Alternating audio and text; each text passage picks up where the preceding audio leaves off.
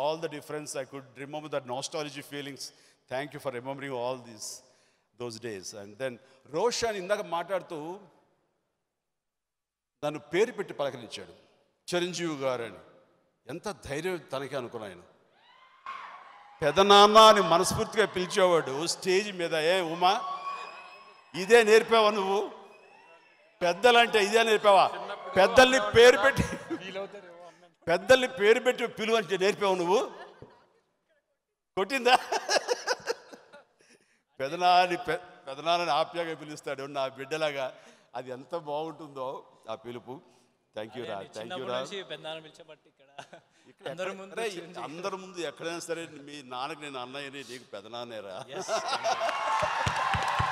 God bless God bless నానా నాన్న God bless you తర్వాత ఈ రోజున ఈ స్టేజ్ నా చిరకాల మిత్రుడు. అండ్ ఒకళ్ళంటే ఒకరికి అభిమానం ఉండే వింటరీ వెంకటేష్. తన సినిమాలు ఏం బాగున్నా సరే ఏం బాగున్నా సరే మనస్ఫూర్తిగా బాగా నచ్చితే మాత్రం ఆపుకోలే అంటే ఫోన్ చేసి వెంకీ అబ్బాయ్ చింపేసావయ్యా ఎంత బాగా చేసావు? అంటూ మాట్లాడి. అండ్ మన నారప్ప మన నారప్పలో నాకు క్యారెక్టర్ తప్ప మా వెంకటేష్ కనపడలేదు.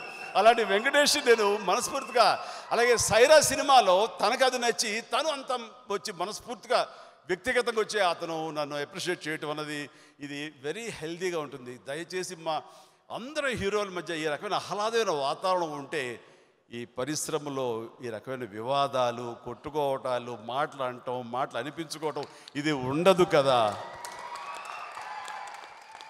ఎనీథింగ్ తాత్కాలికం అవి రెండేళ్ళు ఉంటాయా మూడేళ్ళు ఉంటాయా నాలుగేళ్ళు ఉంటాయా? ముఖ్యంగా పదవులు లాంటివి చిన్న చిన్న బాధ్యతలు లాంటివి. వాటి కోసంగా మాటలు అనటం అనిపించుకోవటం చూస్తుంటే బయట వాళ్ళకి ఎంత లోకు అయిపోతాం అంత లోకు కావాలా ఒక పదవి కోసం? నాకు అది బాధ అనిపిస్తుంది. ఎవరైనా కానీ నేను ఏ ఒక్కళ్ళు నేను వేలిపెట్టి చూపించట్లేదు.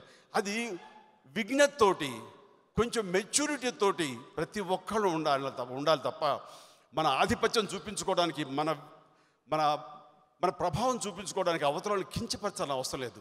వాళ్ళు మమ్మల్ని అన్నారు కదా అంటే మీరు అన్నారు కదా అని. ఎక్కడ స్టార్ట్ అయిందో గుర్తుంచుకోండి. ఆ స్టార్ట్ అయిన మనిషి ఎవరు ఎవరు చెప్పారు ఎవరి మూలంగా ఈ వివాదాలు ఈ మధ్యకాలం స్టార్ట్ అయినాయో ఆ మనిషి. అంటే అక్కడ హోమియోపతి వైద్యం వేయాలి. ఎందుకంటే హోమియోపతి వైద్యం లక్షణం ఏంటంటే మూలాల్లోకి వెళ్ళి అక్కడ కరెక్ట్ చేస్తారు. మనం కూడా మూలాల్లోకి వెళ్ళండి. ప్రతి ఒక్కరు ఆలోచించండి. ఎవరు దీనికి అంతరికి కారణం? అలాంటి వ్యక్తులు కొంచెం దూరంగా ఉంచితే కనుక ప్రతి ఒక్కళ్ళు మన వసుదైక కుటుంబం. ఈ రోజు మేమంతా ఎలాగున్నామో అలాగే ఆప్యాయంగా ఉండాలి ఆత్మీయంగా ఉండాలి హాయిగా ఉండాలి తప్ప చిన్న చిన్న గొడవలతోటి అవతల వాళ్ళకి లోకు అయిపోయి ముఖ్యంగా మీడియా వాళ్ళకి మనం ఆహారం అయిపోకూడదు. ప్లీజ్. సో ఎల్లప్పుడు ఇలాంటి ఆహ్లాదమైనటువంటి వాతావరణం కోరుకుంటాను. అలాంటిది క్రియేట్ చేసి ఈ రోజున మమ్మల్ని అందరినీ ఆహ్వానించిన రాఘవేంద్ర గారికి మరొకసారి హృదయపూర్వక ధన్యవాదాలు తెలియజేసుకుంటూ ఈ సినిమా ఖచ్చితంగా అద్భుతంగా ఆ పెళ్ళి సందడి అంత గొప్పగా ఆడాలని ఆడుతుందని భరోసాతో నమ్మకంతో అందరికీ నా అభినందనలు తెలియజేసి ముగిస్తాను. Thank you so much love you all